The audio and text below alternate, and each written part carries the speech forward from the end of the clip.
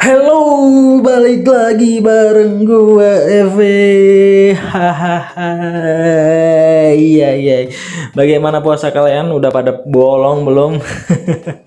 Semoga kalian stay di rumah dan stay sehat saja. Nah, ini kebetulan karena ada kelas baru ya, kelas tracker. Jadi waktunya gua untuk impression walaupun agak telat ya nggak apa-apa lah ya. Ini jadi gua tadi udah lumayan leveling jadi gue leveling sampai level 50 supaya gue bisa tahu reward apa aja sih dan bisa ngetunjukin kalian nih ini loh rewardnya kalau kalian nanti leveling striker ataupun uh, nanti juga kalian bisa mau ganti ya uh, pemain lama pengen ganti striker. Kalian bisa uh, ngelihat video ini dulu jadi sebelum ganti jadi biar nggak salah ataupun nggak nyesel ya nanti kalau udah semuanya dipindahin kalian nggak nyesel.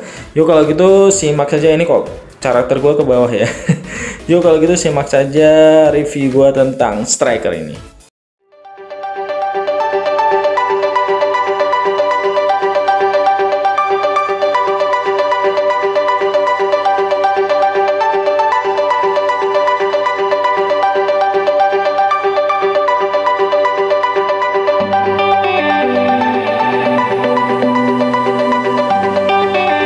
Seperti biasa gue bakal sambil uh, kita bakal sambil auto quest ya karena uh, jadi biar karena emang ya gini ya uh, per abis ini lumayan baik. Jadi buat kalian yang yang apa ya istilahnya pengen ganti kelas itu tidak usah repot-repot. Jadi kalian uh, tinggal auto quest kalian pancer atau kalian gimin saja handphone kalian ya dan nanti leveling atau questnya ini bakal bakal selesai dengan sendirinya. Nah gue saranin banget buat kalian yang pengen pindah kalian mending auto quest ini. Ini jadi jangan uh, jangan kalian grinding dulu ya. Kalian naikin dulu questnya. Jadi kalian leveling dari auto quest. Ini misalnya contoh gue udah Uh, eh, gue udah kebetulan gue ini auto quest ya full auto quest sama Valor ya. Gue mau manfaatin Valor karena ini ada event Valor muncul lagi.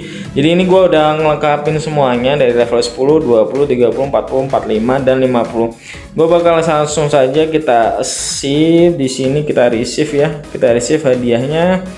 Lalu kita open. Jadi kita nanti bakal dapetin 4 ya Uh, menurut gue ini ini tidak bisa di apa tidak bisa gear ini tidak bisa di fuse ya. Jadi kalau kalian pengen nge-fuse atau kalian pengen jadiin bahan buat uh, jadiin grunil atau jadiin dua slot sepertinya ini nggak bisa. Nanti kita bakal coba aja. Uh, kebetulan gue lagi nggak ada bahan juga sih ya. Jadi kita nggak bisa nyoba. Jadi uh, ini bentuknya seperti ini ya. Oh bentuknya sama aja ya. Jadi ini seperti ini ya. Uh, lumayan lumayan lumayan banget ini uh, feeling gue ini nggak bisa di nggak bisa diffuse seperti equip yang sebelumnya dikasih ya. Jadi ini nggak bisa diffuse jadi mending uh, kalian manfaatin buat main subclass kalian ya. Karena sekarang ini kita tuh punya namanya family CP nah di sini ada family prestige yang bisa nambahin kalian buff. Jadi misal ini gua udah 10.000 ya. Gua udah 10.000 di sini family CP gua udah 10.000 atau lebih maka combat EXP nya plus 5% ataupun nanti ada di sini ada selanjutnya ada family CP nya 15.000 itu bakal ada storage slot. Dan yang paling gede untuk saat ini tuh 24.000 itu bakal ada dark energi EXP nya plus satu. Dark energi EXP itu apa? Jadi saat kalian makanin black spirit kalian itu bakal nambahin EXP atau uh, chance nambahnya tuh satu persen ya lumayan ini. Lalu storage slotnya plus 2 wow inventory slotnya plus 100 liter ini lumayan banget buat kalian yang suka grinding dan no life ya kalau bisa kalian uh, reach family CP nya sampai 24.000 biar kalian bisa dapetin buff dari family prestige ini Nah sekarang kita masuk ke area skillnya ya. Sebenarnya kalian bisa baca sendiri ya. Cuma kalau misal kalian masih belum uh, nge-create cara uh, striker, kalian bisa ini bisa gue coba coba lihatin ya coba lihatin.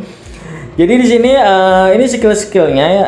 Skillnya di sini nanti buat kalian juga yang mungkin tanya ini main uh, main branch damage-nya main apa? Nanti bakal gue coba ini ya coba gue analisis dari skill-skill yang ada. Kita bakal coba uh, coba kita deskripsinya satu persatu. Jadi di sini oke okay, di sini skillnya uh, forward guard while using the skill. Jadi ini bakal ada semacam jadi uh, si karakter kita si striker nanti bakal ada semacam mode def sedikit ya forward guard ketika uh, menggunakan skill ini. Lalu damage per hitnya itu kaliin dua untuk yang di uh, field ya. Kalau untuk PVP itu 83 persen.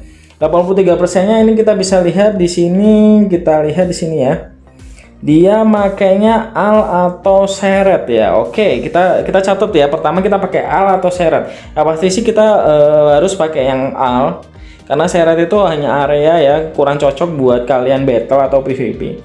Lalu kita masuk ke dua ini ada super armor wow. Super armor dan stun. Jadi saat kalian menggunakan skill ini kalian nanti bakal bisa super armor dan stun.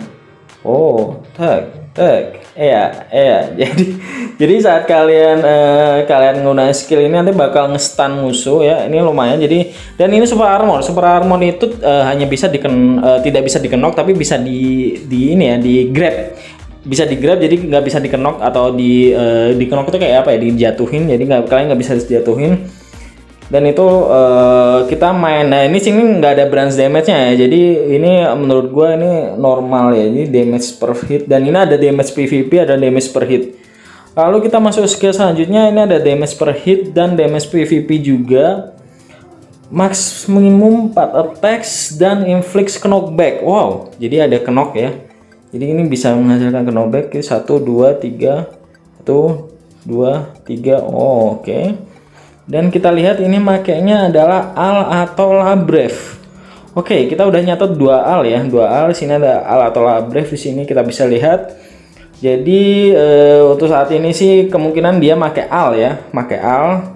Jadi kalau kalian ingin uh, branch damage-nya gedein itu mending ke main ke al ya. Ataupun main ke labrev juga bisa sebenarnya. Kita lihat saja skill selanjutnya sekarang. Ini nanti skill yang ini ya. Maksimum 4 hit. Oke, okay, next kita ke dash on second hit, inflict knockdown. Ini juga ke ya. Wow, banyak banyak skill ke ya sepertinya. Kita lihat di sini ada Ahib dan Labrev. Ahib dan Labrev ya. Kalau gue sih menurut gue sih mending ngambil Labrev aja karena kalian bisa uh, di sini bisa full Labrev ya Labrev di sini juga kalian bisa ngambil Labrev ini ngambil Labrev aja daripada kalian ngambil tiga ya jadi mending kalian fokus di dua branch damage kalau misal kalian ngambil tiga juga nggak apa-apa sih jadi itu bebas aja. Uh, kalau kalau gue sih sering senengnya kalau Labrave tuh sakit banget ya sakit.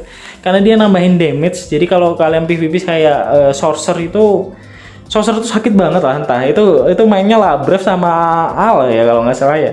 Itu sakit banget. Jadi ini bisa jadi uh, buat PvP lumayan banget ini ya sepertinya. Bakal uh, nanti mungkin bakal gue coba preview di PvP-nya ya. Lalu ini juga ada kenok lagi. Wow kenok lagi dan ini tanpa branch damage ya jadi ini uh, dua damage per hit. Satu oke okay, satu dong ya.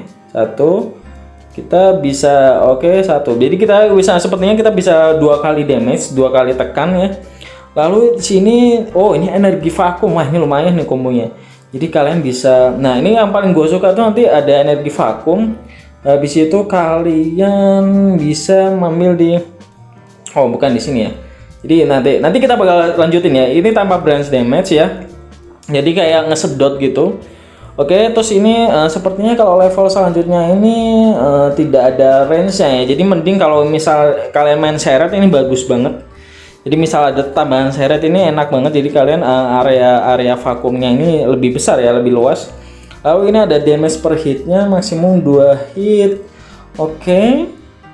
Jadi seperti ini, jadi ini juga, oh ini ada ternyata ada branch damage ada seret dan ini ada labrev. Lagi labrev, jadi ada tiga labrev, ada dua al, tiga labrev, dua al, lalu ada satu ahib. Kita bakal catat ya. Lalu di sini kita bakal damage per hit dan ini max 3 hit. Ini apa nih? Ini. Wow. Oh ini ini cocok banget sepertinya buat kalau yang mau uh, saat war not war itu bisa buat ngedes ke depan ya sepertinya ini ya. Enak nih gitu ya. Dan ini damage-nya 208% uh, lalu tidak ada branch damage ya. 208% ini level 10 level 11 nya naik.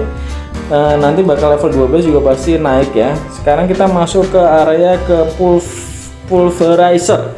Pulverizer ini stun dan knock lagi wow. Jadi ada kita hitung bisa ada tiga knock ya tiga tiga skill knock ya wow. Areanya ini sepertinya emang buat hmm, buat CC ya. Jadi buat emang buat kontrol ya. Kontrolnya mirip-mirip mirip-mirip sorcerer sepertinya. Lalu ini kita bakal ini wah ada super armor dan kenok lagi. Jadi kita ada empat kenok di sini. Dan ini sekarang kita pakai main ahib dan seret oh jadi di sini ada dua ahib ya. Jadi sepertinya ada dua ahib dua al lalu ada tiga labref Nah ini nah ini nah ini ini, ini combo. Ini ini song sangat cocok banget kalau misal pakai kalian pakai sama vakum. Jadi kalian vakum dulu kalian sedot lalu kalian seret. Gimana ya tadi seretnya? Nah ini seretnya.